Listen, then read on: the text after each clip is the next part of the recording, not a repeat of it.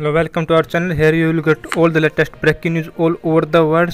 Breaking news coming up from UK. Mars bar storage leaves supermarket sleeve empty. Retailers born of week-long stock issue as chocolate company experience high level of demand. So breaking big news coming up.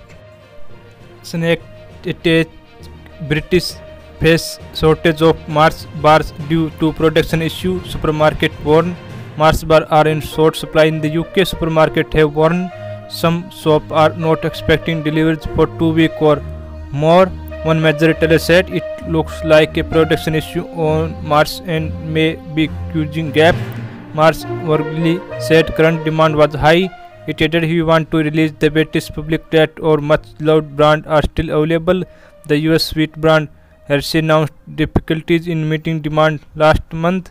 So a big breaking news after the high demand uh, Mars shortage supply in the UK and supermarket uh, empty so a big breaking all the breaking news.